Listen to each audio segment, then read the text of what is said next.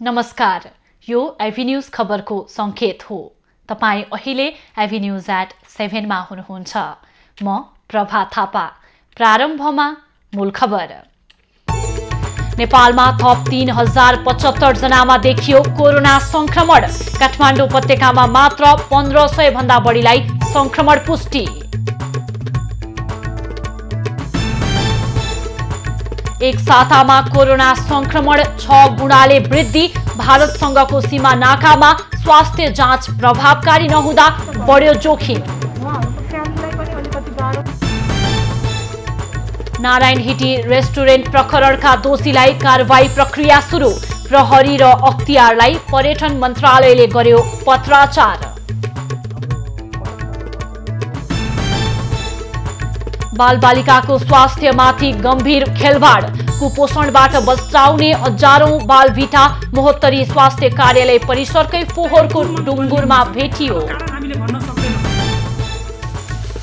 राजगुठीमा बनाइएको अवैध संरचना काठमाडौँ महानगरले भत्कायो। गुठीको चौवालिस रोपनी जग्गा अझै गायब। त्यसमा बाँकी चौतिस रोपनी मात्रै बाँकी रह्यो। केही दिनदेखि लगातार बढेको सेयर बजारमा गिरावट। नेप्से तीस अङ्कले घट्यो कारोबार रकम भने बढेर आठ अर्ब नाग्यो।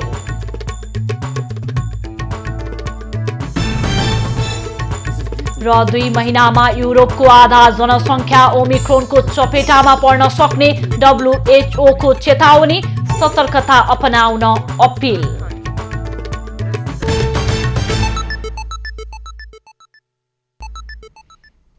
अब खबरको सिलसिला प्रारम्भ गरौं कोरोना संक्रमण सम्बन्धी प्रसङ्गबाट।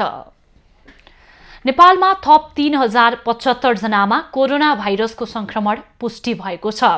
पिसिआर र एन्टिजेन गरी तेह्र हजार छत्तिसजनाको नमुना परीक्षण गर्दा तीन हजार पचहत्तर जनामा संक्रमण पुष्टि भएको स्वास्थ्य तथा जनसङ्ख्या मन्त्रालयले जनाएको छ। पिसिआरबाट दुई हजार चार सय अडचालिस र एन्टिजेन परीक्षणबाट छ सय सत्ताइसजनामा कोरोना संक्रमण पुष्टि भएको हो। जसमध्ये काठमाडौँ उपत्यकामा मात्र एक हजार पाँच सय अडतिसजनामा संक्रमण पुष्टि भएको छ। त्यस्तै पछिल्लो चौबिस घण्टामा दुई सय अठहत्तर जना संक्रमित निको भएका छन् भने दुईजनाले ज्यान गुमाएको मन्त्रालयले जनाएको छ। देशभर सक्रिय संक्रमितको संख्या एघार हजार छ सय नब्बे पुगेको स्वास्थ्य मन्त्रालयले जनाएको छ। स्वास्थ्य मन्त्रालयको तथ्याङ्क अनुसार अहिले नेपालमा छ गुणा बढीले कोरोना संक्रमण वृद्धि भएको देखिएको छ। एक साताको अन्तरालमै कोरोना संक्रमितको संख्या वात्तै बढ्नुले नेपालमा कोरोना भाइरसको नयाँ संस्करण ओमिक्रोन समुदाय स्तरमा फैलिएको हुन सक्ने अनुमान गरिएको छ। विगत एक साताको तथ्याङ्क केलाउँदा कोरोना संक्रमितको संख्या दैनिक बढ्दो क्रममा छ। पुस बाइस गतेको तथ्याङ्क हेर्दा उक्त समयमा पाँच सय चालिस नयाँ संक्रमित थपिएको देखिन्छ। पुस तेइस गतेको तथ्याङ्कमा नौ सय अडसठी चौबिस गते नौ सय चौवालिस र पच्चिस गते एक हजार एक सय सडसठी नयाँ संक्रमित थपिएको थियो। यसै गरी यो सङ्ख्या छब्बिस गते आइपुग्दा बढेर एक हजार चार सय छयालिस तथा सत्ताइस गते दुई हजार चार सय चौवालिसमा उकालो लागेको देखिन्छ। त्यस्तै बुधबारसम्म यो सङ्ख्या बढेर तिन हजार बढीमा आएको छ। एक साता अवधिको दैनिक नयाँ संक्रमितको सङ्ख्या हेर्दा दैनिक संक्रमितको सङ्ख्या क्रमशः बढ्दो देखिन्छ। यसरी एक सातामा नै कोरोना संक्रमितको सङ्ख्या छ गुणा भन्दा बढी बढ्नुको कारण ओमिक्रोन संस्करण समुदाय स्तरमा फैलिएको हुन सक्ने विज्ञहरू बताउँछन्। नेपालमा कोरोना भाइरस समुदाय स्तरमा फैलिएको छ। परीक्षणको दायरा साँगुरो भएको हुँदा तथा अधिकांश ठाउँमा परीक्षण सशुल्क भएको हुँदा आम नागरिकहरूले सजिलोसँग परीक्षण गर्न पाएका छैनन्। त्यसले गर्दा पनि अहिलेको जुन तथ्याङ्क छ त्यो तथ्याङ्कभन्दा धेरै गुणा बढी सङ्क्रमितको सङ् सङ्ख्या छ भनेर कोरोना भाइरसको नयाँ संस्करण ओमिक्रोन डेल्टा संस्करणको तुलनामा छिटो फैलिने प्रकृतिको देखिएको छ। तर यसले स्वास्थ्यमा पार्ने जटिलता भने डेल्टा संस्करणको तुलनामा कम भएको मानिएको छ। चिकित्सकहरूका अनुसार ओमिक्रोन संक्रमित भएकामा रुघा खोकीको समस्या देखिने गरेको छ। साथै ओमिक्रोन संक्रमितमा उच्च ज्वरो तथा कतिपयमा लक्षण नै नदेखिने भएकाले अझै संक्रमण फैलन सक्ने जोखिम बढाएको चिकित्सक बताउँछन्। व्यक्तिहरूमा अहिले पछिल्लो समयमा पिसिआर पोजिटिभ देखाएको छ उनीहरूमा चाहिँ घाँटी दुख्ने जिउ दुख्ने टाउको दुख्ने यो सामान्य हल्का खोकी लाग्ने अनि जिउ तातेको जस्तो अनुभव हुने थकान महसुस हुने यस्तै खालको लक्षणहरू बढी मात्रामा लिएर आएको चाहिँ देखिन्छ। र तर अब यो एकपछि अर्को खास गरी परिवारभित्र अथवा समुदायमा बिस्तारै यो फैलिँदो क्रममा रहेको देखिएको हुनाले चाहिँ पक्कै पनि यो अलिक छिटो फैलिन सक्ने भेरिएन्टको रूपमा हामीले हेर्ने गरेका अहिले गरिएका अनुवांशिक अध्ययनहरूका क्रममा पनि ओमिक्रोन संस्करण बढ्दै गएको देखिन्छ। त्यसैले पनि ओमिक्रोन समुदायमा फैलिएको छ भन्ने कुरालाई नकार्न सकिन्न। त्यसैले अहिले कोरोना भाइरसबाट बस्न र बचाउन स्वास्थ्य मापदण्डका साथै खोप नलगाएकाले खोप लगाउन आवश्यक छ। त्रिगुडा भट्टराई बस्नेत काठमाडौँ। कोरोना संक्रमण दर बढेपछि सरकारले विद्यालयको पठन पाठन रोकेको छ। कोरोनाको ओमिक्रोन भेरिएन्ट देखिएपछि त्यसको फैलावट रोक्न विद्यालय बन्द गरिएको हो। तर रूपन्देहीको बेलहिया सहितका सीमा नाकाहरूमा भने चेक जाँच नै प्रभावकारी हुन सकेको छैन। भारतमा कोरोना बढेका बेला भारत हुँदै नेपाल आएकाहरू सोझै घर पुग्ने गरेकाले संक्रमण फैलाउन सक्ने सम्भावना बढेको छ। तर यहाँ स्थानीय तथा यात्रुहरू मास्क समेत नलगाई स्वास्थ्य मापदण्डको पालना नगरी हिँडेको देखिन्छ। भारतबाट नेपाल प्रवेश गर्नेहरूको स्वास्थ्य जाँच खाली झारा टार्ने रहेको छ। के चेक गर्ने हो सबै चेकै छ सबैले छ सुई लागिसकेको छ। जहाँ गर्छ कि गर्दैन अहिले?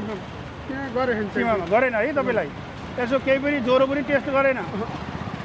त्यत्तिकै छोडिदिइहाल्यो। सीमामा खटिएका स्वास्थ्य कर्मीले आवश्यक जनशक्ति अभावका कारण स्वास्थ्य जाँचमा समस्या भएको बताउँछन्। कोरोना परीक्षणमा पोजिटिभ देखिएकालाई पनि व्यवस्थापन गर्न कठिनाई भएको छ। हाम्रो माथिल्लो निकायहरूले सुनिदिनु हुन्न त्यसले गर्दा अलिकति हाम्रा भिजिटरहरूले कराउने यताउता भइरहेको छ।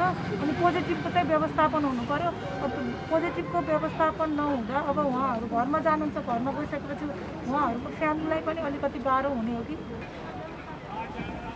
उता जिल्ला प्रशासन कार्यालय रूपन्देही परिसरमै पनि सरकारी सूचनाको व्यवस्था भइरहेको छ।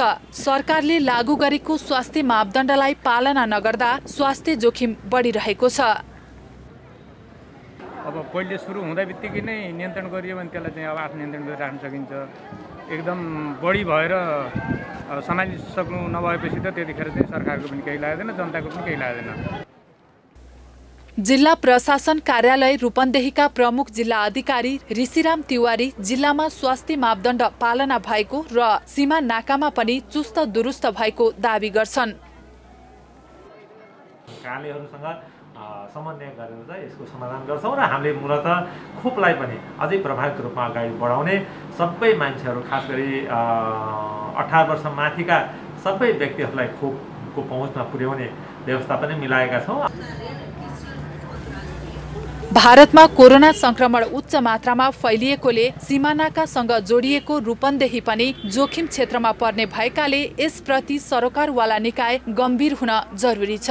कोरोना भाइरसको नयाँ भेरिएन्ट देखिएपछि त्यसको सतर्कताको लागि केही सुरक्षाका प्रयासहरू भए पनि त्यो त्यति प्रभावकारी भनी देखिएको छैन। खबरका लागि दामोदर खनाल रूपन्देही बेलैया। पोसिलो एवं सन्तुलित भोजनको अभाव रहेका बालबालिकाहरूलाई बालभिटा निकै उपयोगी मानिन्छ। तर मोहोत्तरीमा भने त्यही बालभिटा हजारौंको सङ्ख्यामा स्वास्थ्य कार्यालय मोहोत्तरीको प्राङ्गणमै रहेको फोहोरको डङ्गुरमा फेला परेको छ। महोत्तरी जिल्लाको दुई दर्जन बढी स्वास्थ्य संस्थाहरूमा महिनौदेखि बालभिटाको अभाव रहेको बेला स्वास्थ्य कार्यालय महोत्तरीको पछाडिपट्टि फोहोरसँगै फालिएको अवस्थामा करिब तिस हजार प्याकेट बालभिटा भेटिएको छ। हजारौँ बट्टामा फालिएका ती बाल भिटाको कुनै पनि बट्टामा उत्पादन मिति र प्रयोग गर्न नमिल्ने म्याद नाग्ने मिति लेखिएको छैन। तर बालबालिकाका लागि उपयोगी बाल भिटा कसैको प्रयोगमा नआएर ठुलो खाल्टोभरि फोहोरको डुङ्गुरमा फालिएको भेटुनुले स्वास्थ्य कार्यालय महोत्तरीका कर्मचारीको चरम लापरवाही देखिएको छ। हामीसँग गाडी पनि छैन हेर्नुहोस्। नत्र गाडी जहिलेसम्म जहिलेदेखि हाम्रो भोला सर छ महिनाभन्दा बढी भइसक्यो हाकिम बनेको आफ्नै गाडीमा जुन जुन सामान दुई महिनासम्मको एक्सपायरी युनिसेफबाट र हाम्रो लजिस्टिक जनकपुरबाट पनि आउँछ जसको एक्सपायरी टु मन्थ ओन्ली हुन्छ के? अब कारण हामीले भन्न सक्दैनौँ। स्वास्थ्य कार्यालय महोत्तरीले जिल्लाको प्रत्येक स्वास्थ्य संस्थामा विभिन्न आवश्यक औषधि सहित बालबालिकाका लागि बाल भिटा पनि पुर्याउनु पर्ने हो। विगत एक वर्षदेखि जिल्लाका कुनै पनि स्वास्थ्य संस्थाहरूले सहज रूपमा बाल भिटा पाएका छैनन् तर स्वास्थ्य अधिकारी भने यसबारे अनभिज्ञता देखाउँछन्। हाम्रो स्टोर देखिएको छ। त्यही बेलामा जुन सामान एक्सपायरी थियो त्यो चाहिँ हामी खाल्टोमा राख्यो जलाउनको लागि। अब त्यसैमा केही जल्न सकेन तर वास्तवमा त्यो एक्सपायर बालबिटा थियो। सरकारले सबै बालबालिकाहरूलाई रक्त अल्पता भिटामिनको कमी लगायतबाट बचाउनका लागि बाल भिटा वितरण कार्यक्रम ल्याएको तर लापरवाहीका कारण वितरण नगर्दा कर्मचारीहरूकै मिलोमतमा भएको प्रश्न हुन्छ। भिटा भनेको दुई वर्ष माथिको बालबालिकालाई दिनुपर्ने हो। जसमा जुन चाहिँ कुपोषितको शिकार हुन्छ। हामीले बालबिटा दियो भने उसको खानेकुरामा अथवा दुधमा जे जस्तो न्युट्रियन्ट्सको कमी कमजोरी हुन्छ त्यसले बालबिटाले पुरा गर्छ। जिल्लामा बालबालिकाहरू विभिन्न प्रकारका कुपोषणबाट प्रभावित भइरहेका बेला उनीहरूलाई कुपोषण मुक्त गर्ने ठोस योजना बनाउनुको साटो भएको पोषणयुक्त वस्तु पनि फोहोरको डुङ्गुरमा भेटुनुले स्वास्थ्य कार्यालय र स्वास्थ्य कर्मी कति लापरवाही छन् भने प्रश्न हुन्छ। कमलेश मण्डल महोत्तरी नारायण हिटी सङ्ग्रहालयका निवर्तमान कार्यकारी निर्देशकसहित संलग्नहरूलाई सार्वजनिक सम्पदा विरुद्धको कसुरमा कारवाही गर्न संस्कृति पर्यटन तथा नागरिक उड्डयन मन्त्रालयले बुधबार प्रहरी प्रधान कार्यालय र अख्तियार दुरुपयोग आयोगलाई पत्र पठाएको छ। नारायण हिटी दरबार सङ्ग्रहालय परिसरमा क्याफेटेरिया सञ्चालन सम्बन्धी अध्ययन तथा छानबिन प्रतिवेदनसहित मन्त्रालयले निवर्तमान कार्यकारी निर्देशक भेष नारायण दाहाल र बतास समूहको बी म्यानेजमेन्टका सञ्चालकलाई मुलुकी अपराध संहिता दुई हजार चौहत्तरको दफा एक सय सडचालिस अनुसार कारवाहीका लागि पत्र पठाएको हो। मङ्गलबार पर्यटन मन्त्री प्रेमबहादुर आलेले प्रहरी र अख्तियारलाई कारवाहीका लागि पत्र पठाउने निर्णय गरेका थिए। उता नारायण हिटी दरबार सङ्ग्रहालयमा क्याफे सञ्चालनका लागि अनुमति पाएको बतास समूहले आफूमाथि लागेका आरोपहरूबारे लिखित प्रष्टीकरण दिएको छ।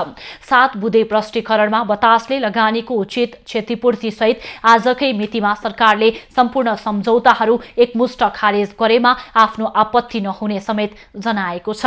नारायण हिटी सङ्ग्रहालयमा क्याफेटेरिया भवन र सङ्ग्रहालय अन्तर्गतको गणतन्त्र स्मारकभित्रको क्याफेटेरिया भाडामा दिने गरी टेन्डर आह्वान गरिएपछि आफूहरूले कानुन सम्मत तरिकाले ठेक्का पाएको बतासको दावी छ। बतास अर्गनाइजेसनले भौतिक संरचनाहरू नष्ट गर्दा आफूहरू अन्यायमा परेको समेत बताएको छ। बतासको विज्ञप्तिमा पशुपति विकास कोषको सम्झौताका शर्तहरू अनुसार नै होटेल आनन्दले धर्मशाला सञ्चालन गरिरहेको उल्लेख गरिएको छ। नारायण हिटीभित्र बतास समूहले रेस्टुरेन्ट सञ्चालन गर्न लागेको खबर सार्वजनिक भएपछि जनस्तरबाट चर्को विरोध भएको थियो। पर्यटन मन्त्री प्रेम आलेको निर्देशनमा रेस्टुरेन्ट निर्माण रोकेर छानबिन अघि बढाइएको हो। छानबिन समितिले नारायण हिटी रेस्टुरेन्ट भाडा प्रकरणमा कार्यकारी निर्देशक बेस नारायण दाहाल पनि दोषी रहेको ठहर गरेपछि उनले राजीनामा दिइसकेका छन्। कोरोना संक्रमण दर घट्दै जाँदा केही राहत महसुस गरेका पर्यटन व्यवसायी पुनः संक्रमण दर बढेसँगै चिन्तित भएका छन्। पर्यटन क्षेत्र कोरोनाको पहिलो र दोस्रो लहरले पारेको असरबाट लयमा फर्किन नसकेको अवस्थामा संक्रमण दर फेरि बढ्न थालेपछि व्यवसाय नै चौपट हुने अवस्था आएको उनीहरूको भनाइ छ। अर्थतन्त्रसँग प्रत्यक्ष जोडिएको पर्यटन व्यवसाय कोरोना महामारीका कारण दुई वर्षदेखि मारमा परेको छ। दुई हजार एक्काइसको मध्यतिर संक्रमण दर घट्दै जाँदा केही राहत महसुस गरेका पर्यटन व्यवसायी पुनः संक्रमण दर बढेसँगै समस्यामा परेका हुन्। कोरोना संक्रमणका कारण निषेधाज्ञा गर्दा विगतमा पर्यटन व्यवसाय धराशायी भएको भन्दै व्यवसायीहरूले अब त्यस्तो नीति नलिन सरकारसँग आग्रह गरेका छन्। हामीहरूको इकोनोमिक पनि डाउन र कम भएको हुनाले र जुन पर्यटन व्यवसायीहरू थलो थलो परेको र अहिले केही हदमा माथि आउन खोजेको र अलिकता उत्साह बढिरहेको बेलामा ठ्याक्कै बन्द गर्न चाहिँ हुन्न। खोप र स्वास्थ्य मापदण्डको पालना गर्दै पर्यटनलाई चलायमान बनाउनुको विकल्प नरहेको उनीहरूको भनाइ छ। पर्यटन क्षेत्रलाई प्राथमिकता दिएर बुस्टर डोज दिनु पर्यो जति पनि दुर्गम क्षेत्रमा पर्यटन व्यवसाय सञ्चालन गरिराखेका छन् तिनीहरूलाई भ्याक्सिनको मात्रा पुर्याउन सक्नु पर्यो र अब हामीले चाहिँ आर्थिक रूपमा अथवा व्यवसाय नै बन्द गर्ने होइन कि यसलाई चाहिँ हामीले जति पनि प्रोसिडियरहरू पालना गर्नुपर्छ तपाईँको कोभिड विरुद्धका हामीले गर्नुपर्ने मास्क सेनिटाइजर सम्पूर्ण कुराहरू हामी त्यसमा पालना गर्छौँ। विगतमा कोरोना महामारीका कारण गरिएको निषेधाज्ञाले पर्यटन क्षेत्रमा ठुलो क्षति भएको सर्वविदितै छ जसको असर देशको समग्र अर्थतन्त्रमा परेको छ। त्यसैले अर्थतन्त्रको मेरुदण्डको रूपमा हेरिएको पर्यटन क्षेत्रलाई उकास्न सरकारले ठोस नीति लिन आवश्यक छ। क्यामेरामा करण गिरीको साथमा निशा देउजाको रिपोर्ट। खबरको सिलसिला अझै जारी छ। हामी सँगै रहनुहोला। अब बाँकी खबर। केही दिनदेखि लगातार बढेको सेयर बजारमा गिरावट आएको छ। बुधबार तिस दशमलव पाँच एक अङ्क घटेर दुई हजार आठ सय तिन दशमलव छ दुई बिन्दुमा बन्द भएको हो। नेप्से घटे पनि कारोबार रकम भने आठ अर्ब नागेको छ। आज दुई सय उन्तिस कम्पनीको आठ अर्ब तिन करोड बत्तीस लाख बाह्र हजार रुपियाँ बराबरको एक करोड एकसठी लाख सडचालिस हजार किता सेयर खरिद बिक्री भएको छ। तेह्र उपसमूहमध्ये तीन उपसमूहको परिसूचक बढेको बढेको छ भने बाँकी दस उपसमूहको परिसूचक घटेको छ। लगानी उपसमूहको परिसूचक सर्वाधिक तिन दशमलव एक तिन प्रतिशत बढेको छ। त्यसै गरी व्यापार उपसमूहको शून्य दशमलव छ पाँच प्रतिशत र उत्पादन तथा प्रशोधनको शून्य दशमलव शून्य नौ प्रतिशत बढेको छ। अन्य उपसमूहको परिसूचक सर्वाधिक तिन दशमलव चार चार प्रतिशत घटेको छ। यसै गरी निर्जीवन बिमा होटेल तथा पर्यटन वित्त र विकास ब्याङ्क उपसमूहको परिसूचक दुई प्रतिशतभन्दा बढी घटेको छ। सबैभन्दा बढी नेपाल बङ्गलादेश ब्याङ्कको अठाइस करोड रुपियाँभन्दा बढीको सेयर खरिद बिक्री भएको छ। विश्व ब्याङ्कले चालु आर्थिक वर्षमा नेपालको आर्थिक वृद्धि दर तीन दशमलव नौ प्रतिशतमै सीमित हुने प्रक्षेपण गरेको छ।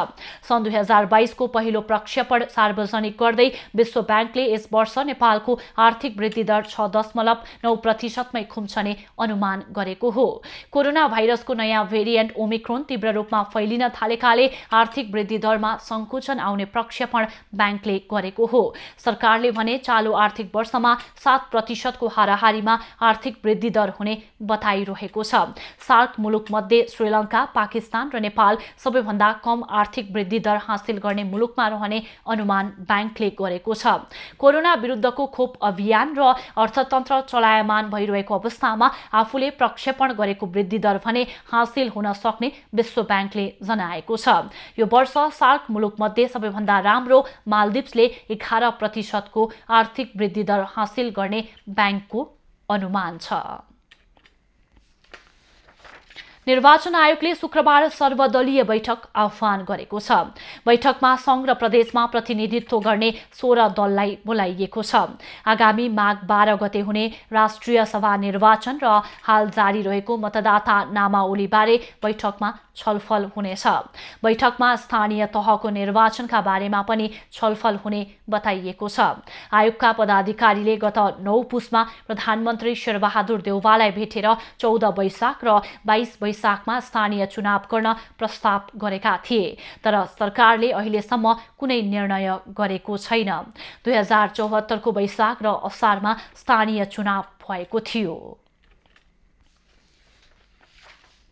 नेकपा एमालेका महासचिव शङ्कर पोखरेलले एमालेको बढ्दो लोकप्रियताका कारण चौतर्फी घेराबन्दी भएको बताएका छन् नेकपा एमाले बाराको दशौं जिल्ला अधिवेशनमा पोखरेलले जनताले रुचाएकै कारण अहिले एमाले विरुद्ध गठबन्धन भएको दावी गरेका छन् महासचिव पोखरेलले एमाले शिक्षा स्वास्थ्य लगायत समग्र विकासमा योजनाका साथ काम गरेको दावी गरे नेकपा एमालेको नेतृत्वमा प्रदेश सरकार रह्यो उनीहरूले विकासका मामिलामा गरेको नेतृत्व र मधेस केन्द्रित दलहरूले नेतृत्व गरेका ठाउँमा विकासका मामिलामा भएका कामहरूलाई तपाईँले हेर्नुभयो भने यिनीहरूको नियम के रहेछ भन्ने कुरा तपाईँले बुझ्न सक्नुहुन्छ विभिन्न अवसरवादीका कारण नेकपा एकता टुटेको बताउँदै उनले आउने निर्वाचनमा नेकपा एमाले नै देशको पहिलो शक्तिको रूपमा स्थापित हुने दावी गरेका छन्।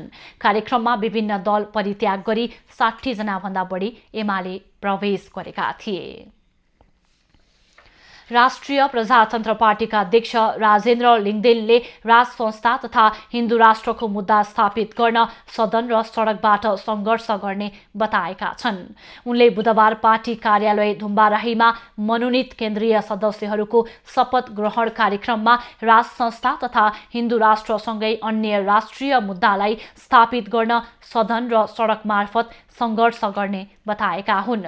पार्टीमा कसैलाई विभेद नगरेको भन्दै लिङ्गदेनले असन्तुष्ट पक्षलाई समेटेर पार्टीलाई विवाद रहित बनाउने समेत बताएका संस्था हिन्दू राष्ट्र पुनर्स्थापनाको मुद्दा सँगसँगै भ्रष्टाचारको विरुद्ध जनजीविकासँग सम्बन्धित रोजगारसँग सम्बन्धित अन्य मुद्दाहरू समेत लिएर आगामी दिनमा राष्ट्रिय प्रजातन्त्र पार्टीलाई सडक र निर्वाचन दुवै मोर्चामा सशक्त ढङ्गले प्रस्तुत गर्नेछौँ र सशक्त ढङ्गले उभ्याउनेछौँ।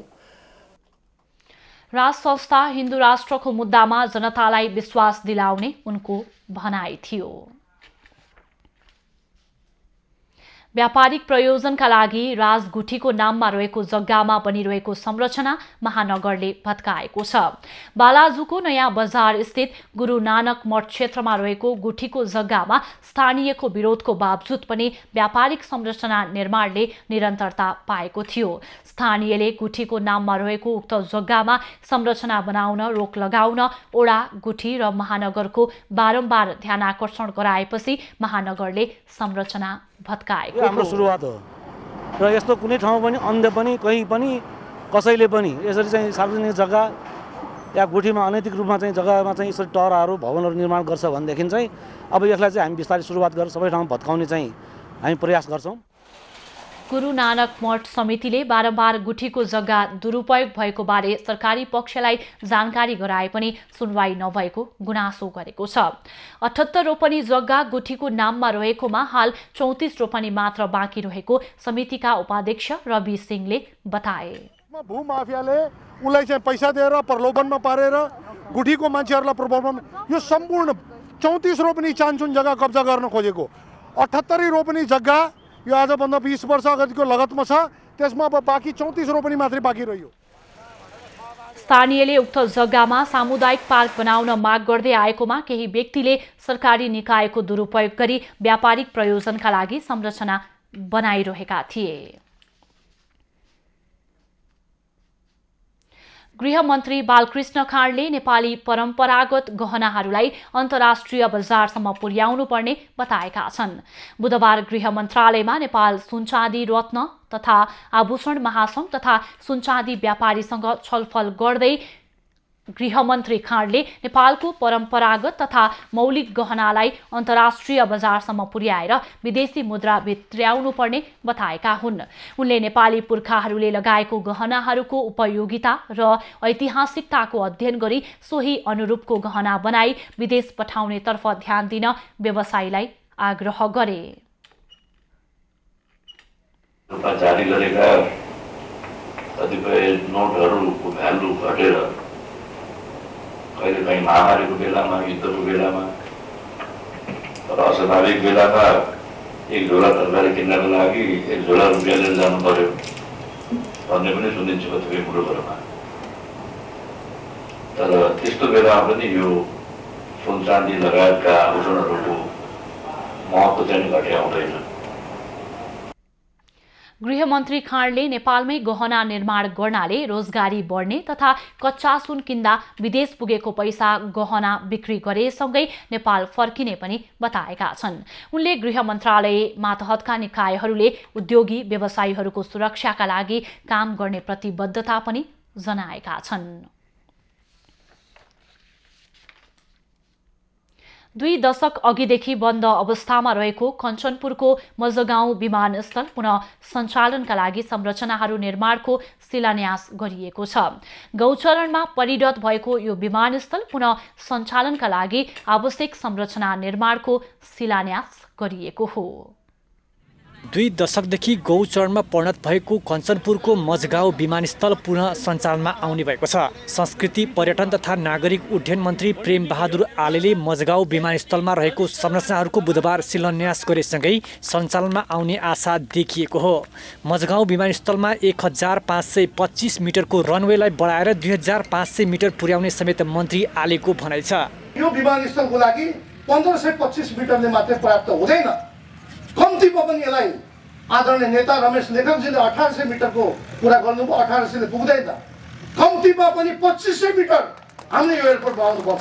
दुई हजार तिस सालदेखि दुई हजार छप्पन्न सालसम्म नियमित सञ्चालन भएको विमानस्थल त्यस यता बन्द अवस्थामा रहेको छ। बाइस वर्षदेखि बन्द अवस्थामा रहेको विमानस्थल पुनः सञ्चालनका लागि स्थानीय तह प्रदेश सरकार र सङ्घीय सरकारको आर्थिक साझेदारी र सबै पक्षको सक्रियतामा काम अगाडि बढेको जनप्रतिनिधिहरूको भनाइ छ। सङ्घ सरकार र प्रदेशको सरकार र स्थानीय सरकारसँग छलफल गरिरहेको छु।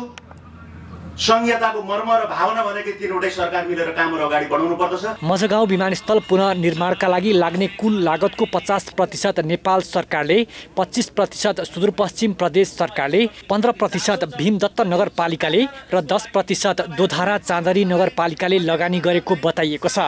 सुदूरपश्चिम प्रदेश सरकारका उद्योग पर्यटन वन तथा वातावरण मन्त्री मानबहादुर धामीले प्रदेश सरकारले कञ्चनपुरको मजगाउँ विमानस्थल सञ्चालनका लागि कुल लागतको पच्चिस प्रतिशत बजेट सम्बन्धित निकायमा पठाइसकेको बताए। सुदूरपश्चिम प्रदेश सरकारको तर्फबाट हामीले पच्चिस पर्सेन्ट प्रतिबद्धता जाहेर गरेका थियौँ। हाम्रो तर्फको बजेट चाहिँ विनियोजन गरेर सम्बन्धित मन्त्रालयमा सम्बन्धित विभागमा हामीले पठाइसकेका छौँ। तिनै तहका सरकारको साझेदारीमा विमानस्थलमा आवश्यक पूर्वाधार निर्माणको काम समयमै सम्पन्न गरिनुपर्नेमा सबैको जोड छ। हाम्रो पूर्वाधार क्षेत्रको विकास र भिन्दत नगरपालिकाको विकासको साझेदारीमा हामीले यस सबैलाई घेरबाड गर्ने काम सम्पन्न गरेका छौँ। पहिलो पटक तिनै तहका सरकारबाट सहकार्य भएर जुन यो कार्य शुभारम्भ भएको छ यो नेपालकै लागि एउटा उदाहरणीय रूपमा अगाडि बढेको छ। सम्पूर्ण विमानस्थलको लागि एउटा प्रेरणाको स्रोत बनेको छ। विमानस्थल सञ्चालनका लागि एक हजार पाँच सय मिटरको रनवे टर्मिनल भवन र ट्याक्सी स्ट्यान्ड लगायत आवश्यक संरचना निर्माण गरिनेछ। निर्माणको ठेक्का पाएको कान्छाराम केएसजेबी निर्माण सेवाले विक्रमसम्म दुई हजार एक्कासी माघ आठ गतिभित्र संरचना निर्माण कार्य सम्पन्न गरिसक्नुपर्नेछ। हरिश्चन्द्र बाग कञ्चनपुर। नेपाल उद्योग वाणिज्य महासङ्घका पूर्व वरिष्ठ उपाध्यक्ष भास्कर राज राजकर्णिकारले चितवनको समग्र आर्थिक विकासका लागि राजनीति मात्रै सोच्न नहुने बताएका छन्। उनले चितवनमा व्यवसायका लागि प्रशस्त सम्भावना रहेकाले व्यवसायीहरूले आफ्नो पेसा व्यवसायलाई प्राथमिकता दिनुपर्ने बताएका छन्। चितवनमा नेसनल फर्निचर सोरुमको उद्घाटन कार्यक्रममा राज कर्णिकारले विदेशमा फर्निचर निकै सस्तो हुने गरेको बताउँदै नेपालमा भन्सार दर कम गर्नुपर्ने बताए। फर्निचर एकदमै सस्तो छ तर यहाँको भन्सार दर र जुन यातायातको लजिस्टिक जुन कस्ट छ त्यो धेरै ठुलो छ। त्यो त्यसका त्यस अर्थमा यसलाई त्यो घटाउन सकिन्छ। र अहिले अहिले जुन खालको भन्सार मूल्य छ त्यसबाट पनि नेपालमा फर्निचर उद्योग स्थापित हुन सक्छ भन्ने कुरा सम्भावना छ। उनले नेपालमै उत्पादन भएका फर्निचर पनि गुणस्तरीय रहेकाले स्वदेशमा उत्पादनका लागि वातावरण बनाउनु पर्ने समेत बताएका छन्। स्थानीय तहमा जनप्रतिनिधिहरू निर्वाचित भएपछि विकासका गतिविधि बढेसँगै आर्थिक व्यथिति पनि बढेर गएको छ। गुणस्तरहीन र मापदण्ड विपरीत गरिएका कामलाई पनि रकम निकासा गर्दा महोत्तरी जिल्लामा भ्रष्टाचार बढेको हो। दुई नम्बर प्रदेश सरकार र मटिहानी नगरपालिकाको बत्तीस लाख पचहत्तर हजार रुपियाँको लागतमा मटिहानी नगरपालिका पाँच बिसनपुरमा चमेनिया माई र ब्रह्मा बाबा मन्दिर निर्माणमा अनियमितता भएको खुलेको छ। नगर प्रमुख र कर्मचारीले आफू निकट व्यक्ति राखेर उपभोक्ता समिति गठन गर्ने र त्यही समिति मार्फत आर्थिक अनियमितता गर्ने गरेका छन्। उपभोक्ता समितिले कम गुणस्तरको सामग्री प्रयोग गरी मन्दिर बनाएपछि स्थानीयले त्यसको विरोध गरेका छन्। यो मैले यो बाह्र इन्चीको पिलर छ हेर्नुहोस् यता। अनि बिम सात इन्ची ढलाइ गरेछ। यो पाँच इन्ची कहाँ? यो नेपाल इन्डियामा जान्छ, त्यो कारणले हामीहरूले मिलेर यो रोकेको काम। आई के ठेकेदार इंजीनियर अपना मोनोपोली काम कर रहा है। वास्तविक में ये हमारा समाज आ धार्मिक सब चीज़ के राय विचार लगे काम करे चाहिए लेकिन से जाकर हम सब पाँच आदमी के दायित्व में देने हर जगह वो ठेकेदार लोग सब जाकर साथ बाइकाट करके चले छे केकरो मतलब नहीं रखे छी आई के नक्शो नहीं देने है नहीं कुछो देने है कहल के हुडिंग बोर्ड टांगबे हुडिंगो बोर्ड नहीं टांगने तै के लागि समाज सब है के स्थगित कर देने उपभोक्ता समितिले जनप्रतिनिधि र कर्मचारीले जे भन्यो त्यही मानिदिँदा अनियमितता बढेर गएको र त्यस्तो समितिका पदाधिकारीलाई पनि छानबिनको दायरामा ल्याउन स्थानीयले माग गरेका छन्। मिस्त्री बुते जे प्रॉब्लम भेलै मिस्त्री कहिए कहिए रहले हम ओकरा तोड़ के ठीक करबै त ओहिमे कोनो समस्या है? महोत्तरीको मटिहानी नगरपालिका त उदाहरण मात्र हो। महोत्तरीमा यस्ता दर्जनौँ योजनाहरू गुणस्तरहीन सामग्री प्रयोग गरी बनाइएको छ। जताततै अनियमितता भएपछि विकास निर्माणको नाउँमा गरिने खर्च सार्वजनिक गर्न जनप्रतिनिधि र कर्मचारीले आनाकानी गर्ने गरेका छन्। भ्रष्टाचारको पोल खुल्ने डरले सार्वजनिक सुनवाई समेत गर्न छाडेका छन्। महोत्तरीबाट कमलेश मण्डलको रिपोर्ट। सरकारले गण्डकी प्रदेश स्थित बागलुङको धौलागिरी अस्पतालमा कोरोना संक्रमित बिरामीको उपचार सहज गर्ने उद्देश्यले निर्माण थालिएको सुविधा सम्पन्न अक्सिजन प्लान्टको निर्माण कार्य अघि बढेको छ। निर्माणको जिम्मेवारी लिएको आरोग्य मेडिटेक निर्माण कम्पनीले विभिन्न बहानामा काम नथाल्दा निर्माण प्रक्रिया लम्बिएको बारे एभिन्युज खबरमा प्रसारण भएपछि निर्माण कम्पनीले काम थालेको हो। अहिले फेरि पछिल्लो केही ढिलाइ भएको थियो र अहिले उहाँहरू जो टेक्निकल टिम आएर अहिले यो इन्स्टलेसनको काम सुरुवाती भएको छ र यो अब सुरुवाती भइसकेपछि अब छिटै नै इन्स्टलेसनको काम चाहिँ सम्पन्न हुनेछ धौलागिरी अस्पतालमा अक्सिजन प्लान्ट स्थापनाका लागि तीन करोडको बोलपत्र आह्वान गरेकोमा आरोग्य मेडिटेक निर्माण कम्पनीले दुई करोड बत्तीस लाख रुपियाँमा गत भदौ मसान्तसम्म काम सम्पन्न गर्ने सम्झौता गरेको थियो। सरकारले अहिलेसम्म रकम निकासा नभएको अस्पतालले जनाएको छ। कैलालीको गोदावरी नगरपालिका स्थित सुरक्षा महिला सामुदायिक वनले पोखरी बनाउन खोज्दा एक परिवारको बिचल्ली भएको छ। गोदावरी नगरपालिकाको अत्तरिया स्थित सामुदायिक वनमा बिस वर्षदेखि बस्दै आएका विपन्न परिवारलाई समस्या भएको हो। कैलालीको गोदावरी नगरपालिका एक स्थित अत्तरियामा रहेको सुरक्षा महिला सामुदायिक वन उपभोक्ता समूहले पोखरी बनाउने भएपछि एक परिवार बिचल्लीमा पर्ने भएको छ। सामुदायिक वनले बिस वर्ष अघिदेखि बसोबास गर्दै आएका खग्गो दमाईको परिवारले उपभोग गर्दै आएको जमिनमा पोखरी बनाउन खोज्दा उक्त परिवारको बिचल्ली हुने भएको हो। बिस वर्षभन्दा पहिला अत्कण गरे हो या जे गरे जे मान्नुहुन्छ तपाईँहरू? बिस वर्षभन्दा अगाडि। त्यो। त्यसलाई पटक पटक सताइरहेछन्। कहिले त्यसलाई अत्कण गरेर भन्छ हटाउँछन् कहिले चाहिँ त्यसको घर बतकाउँछन्। ती एउटा छिमेकी त्यो एउटा गुरुटी भन्ने त्यसमा मुद्दा हाल्यो मेरो जग्गा हो भने अदालतले केस गरेर उसले चाहिँ त्यहाँबाट हारेर उसलाई चाहिँ उसले जग्गा दिनु पऱ्यो एउटा गरिब भएर उसले निसाब पाएन। खोइ त्यो निसाब पाउनु त्यहाँ कहाँ गए स्थानीयहरू? कहाँ गयो त्यो समूह? कहाँ गयो समाज? पीडितहरूले आफूहरू दुई हजार पैँतालिस सालबाट बसोबास गर्दै आएकाले सामुदायिक वनले पटक पटक आफूमाथि विभिन्न बाहनामा खेतीबाली घर समेत भत्काएको खग्गो दमाईले बताएका छन्। मैले केही गरेको छैन त्यहाँदेखि त्यो घाट छ घाडै हालेको छ मैले। मैले बढी देखाउँदैन। खेती पनि लगाएको थिएँ अस्ति ब्रोजर लगाएर खेतीमाथि मास मासु गरिदियो। मैले सागसब्जी लगाएको थिएँ। यता सामुदायिक वनले दुई हजार अन्ठाउन्न सालबाट हटाउन खोज्दा पनि दलित घरबास नछोडेको र बाँकी जग्गा रोक्न खोजेको सुरक्षा महिला सामुदायिक वन उपभोक्ता समूहकी अध्यक्ष लक्ष्मी भण्डारीले बताएकी छिन्। अन्ठाउन्न सालदेखि प्रयास गरेको प्रयास गर्दा पनि उसले घर बनाए अब दलित हो ऊ हो भनेर त्यहाँ वनले पनि त्यसलाई मुद्दा बढ्यो मुद्दा बढेर त्यसलाई घर हामीले छोडिदिए घर घरवास चाहिँ।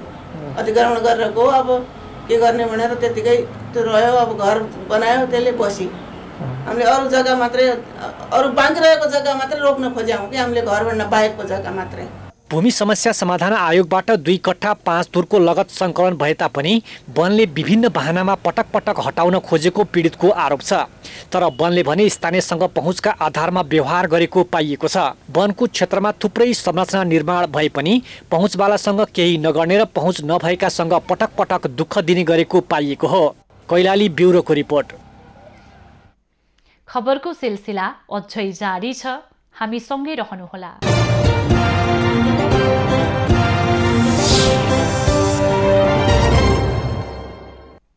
पछिल्लो चौबिस घण्टामा देशभरको मौसममा आंशिकदेखि सामान्य बदली रह्यो आज राति प्रदेश एक बागमती र गण्डकी प्रदेशका पहाडी भूभागमा आंशिकदेखि सामान्य बदली तथा अन्य भूभागमा आंशिक बदली रहनुका साथै सो प्रदेशका उच्च पहाडी तथा हिमाली भूभागका थोरै स्थानमा हल्का हिमपातको पनि सम्भावना रहेको जल तथा मौसम पूर्वानुमान महाशाखाले जनाएको छ। काठमाडौँ उपत्यकाको आजको अधिकतम तापक्रम सत्र डिग्री सेल्सियस र न्यूनतम तापक्रम सात डिग्री सेल्सियस मापन गरियो। आज देशभरको मौसम कस्तो रह्यो त? हेरौँ देशका विभिन्न स्थानको मौसमी अवस्था।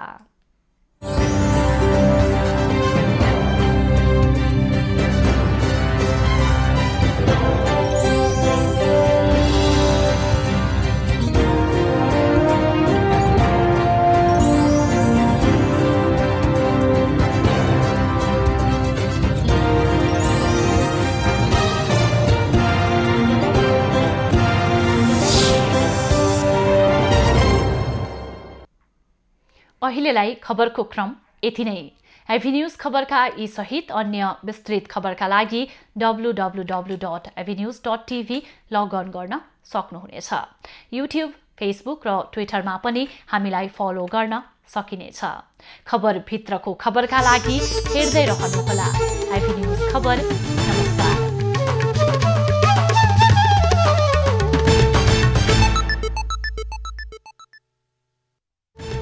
नमस्कार एभी न्यूज एट सेभेनको साथमा